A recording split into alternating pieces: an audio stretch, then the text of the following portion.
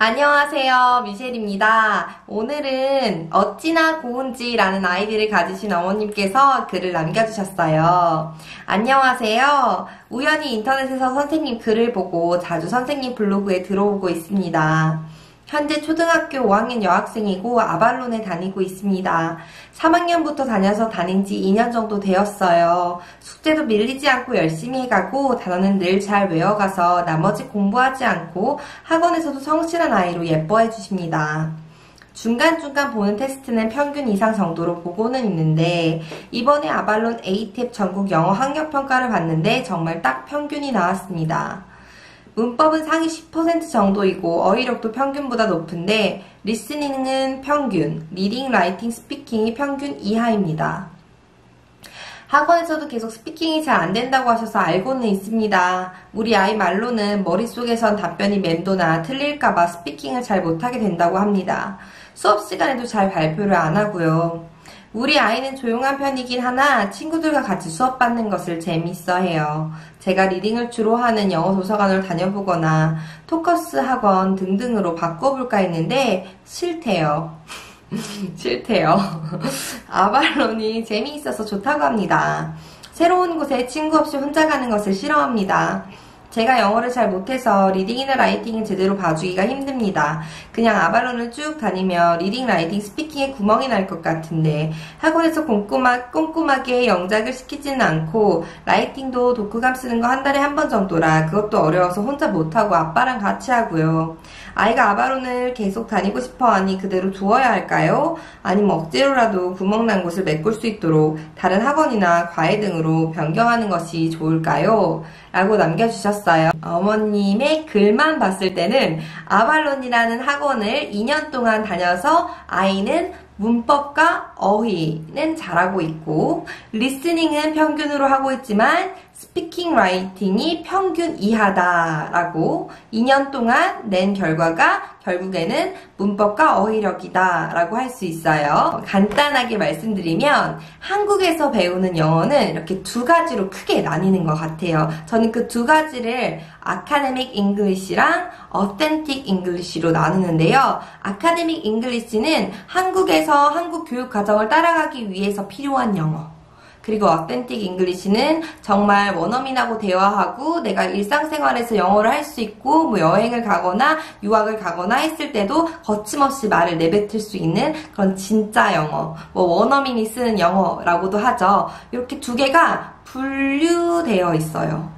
되게 안타깝게도 이 두 개를 다 할 수 있는 학원이나 어, 선생님은 많이 없는 것 같아요. 그래서 저도 이거를 같이 가져가려고 노력은 하지만 일단 아이들이 중학교에 올라가고 고등학교 과정을 밟는 그 순간부터는 어, authentic English는 조금 조금 배제해두고 이제 academic English를 계속 가져가길 원하시거나 academic English를 가져갈 수밖에 없는 이걸 두 개 다 할 수 있는 시간도 없고 또 할 필요도 없는 그런 교육 과정을 한국이 가지고 있다. 있다라고 말씀을 드릴 수 있을 것 같아요. 아발론뿐만 아니라 5학년 이후에 어떤 학원을 가도 academic English에 포커스를 두지 authentic English에 포커스를 두는 학원은 없고 이거 이렇게 두 가지를 다 가져갈 수 있는 학원도 없는 것 같아요. 그래서 지금 어머님이 이 아발론에서 다른 학원을 옮긴다 할지언정 만약에 authentic English를 중심으로 한 학원을 옮긴다 할지언정 그럼 academic 영어가 영어를 못 가져가게 되는 거고 academic 영어를 계속 가져가시려면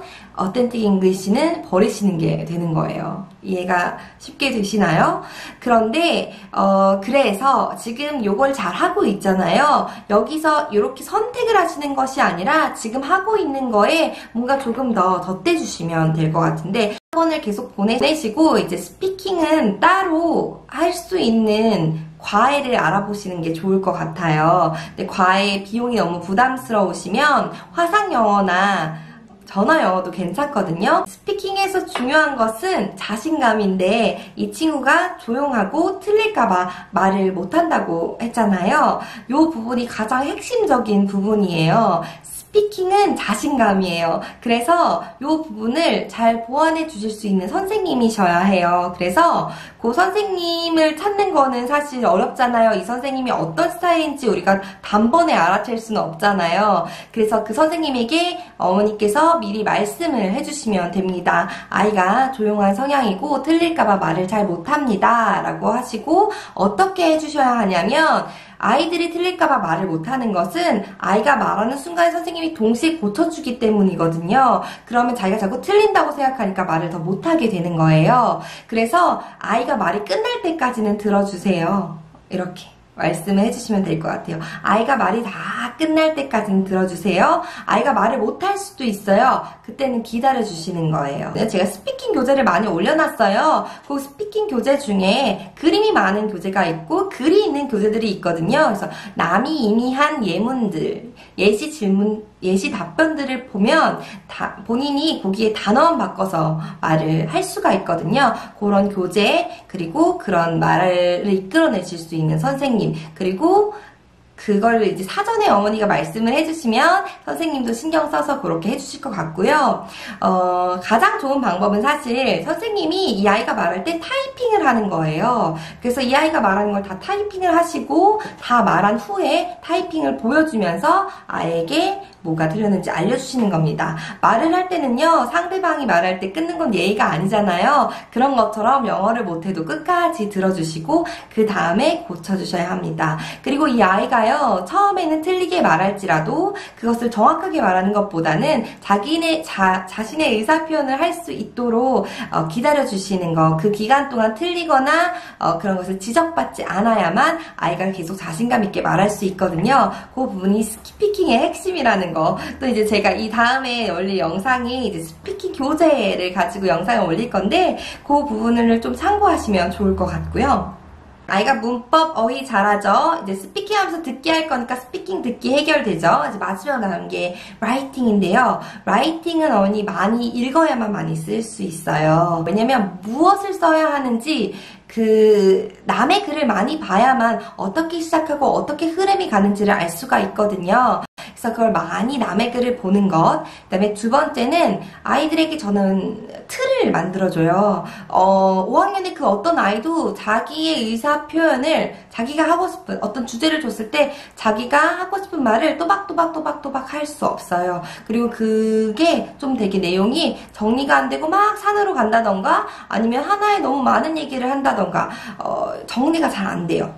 이 라이팅도 많이 써보면 되거든요. 많이 써보는데 그 틀을 많이 봐야 해요. 어떻게 쓰는지 틀을 잡아줘야만 아이들이 쓸 수가 있거든요. 그런데 그 틀이 없이 그냥 마구잡이로 쓰라고 하니까 아이가 못 쓰는 거예요. 그래서 예를 들면 독후감을 시작할 때는 책 제목을 얘기하고 그다음에 작가 이름을 얘기하고 등장인물이 뭐뭐뭐가 나오는데 거기서 그리고 배경이 어디고 첫 시작 첫 시작은 어떻게 했으며 클라이막스는 어떻고 그 다음에는 전기가 이렇게 흘러가서 마무리가 이렇게 되었다. 그래서 내 생각은 이래 라고 하는 것을 어, 짜져 있어야만 그렇게 쓸 수가 있거든요.